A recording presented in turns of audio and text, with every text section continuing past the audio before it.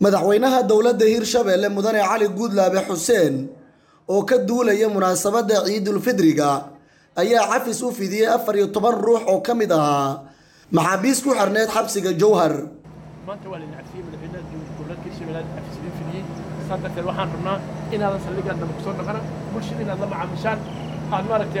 dadka mustaqbalka oo dalkan iyo dadkan aan ficlahaa tihiin. Inaad dadaashaan insha allah hadduu ilahay yidhahdo afar iyo tobankan maxbuus ayaa saakay ka mid noqday dadkii salaada ciidda ku tukaday qaybo ka mid a masaajidada magaalada jowhar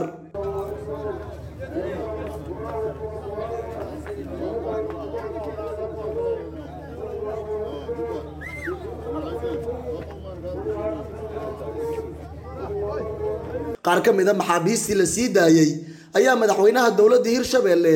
cali guudlaabe xuseen uga mahad celiyey dib u helidda xorriyaddooda insha allah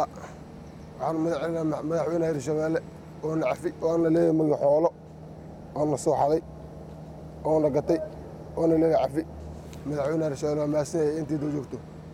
mahadsan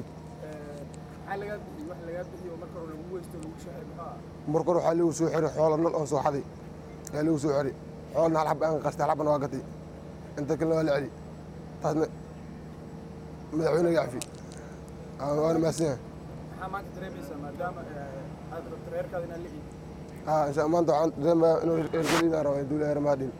asalaamu calaykum waraxmatullahi tacaala wabarakaatu horta waa mahadsantaa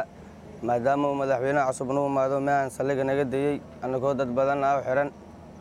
maasha allah inta warta aniga waxaa liigu haystay sagaal boqol ah sagaalkaas boqolna waxay taha male. Hadda waa mahadsan yahay madaxweynaha cusub ah meehan naga dayey waa mahadsan yahay. Hadda waxaan dhibon sheeganayna male anaka waa fiyowna haddana annakoo nabadaan baxnay caafimaad iyo cumar dheel ilaas iyo intii ummadoo daba socoto maxaabiistan afar iyo tobanka ka kooban ee xorriyaddooda dib u helay ayaa ahaa kuwa loo haystay dembiye yaryar sida ku xusneed wareegtadii lagu sii daayey cabdishakuur shaashaan raadiyaha iyo telefishinka city jowhar